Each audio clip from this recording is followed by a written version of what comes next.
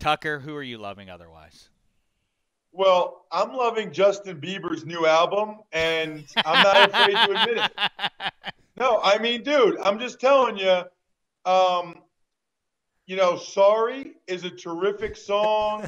Um, "Love Yourself" is an awesome song.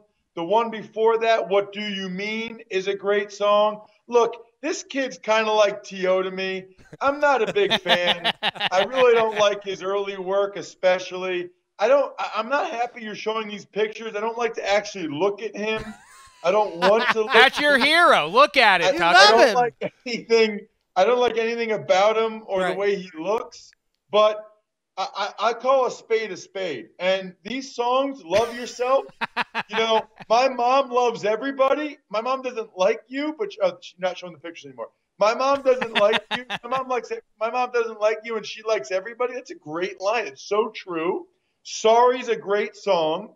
And you know what? I think deep down, most people, most rational people, like these this Justin Bieber music.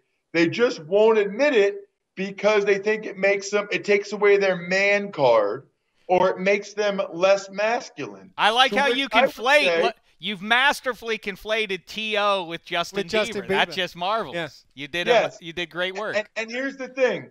People won't admit they like Bieber because they think they'll get made fun of or it's not manly.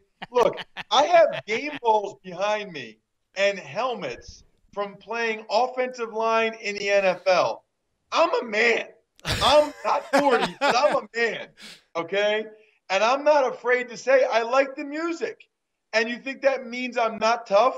Let sign a liability waiver. Let's get in a fight somewhere. We'll play sorry or love yourself in the background and let's see what happens.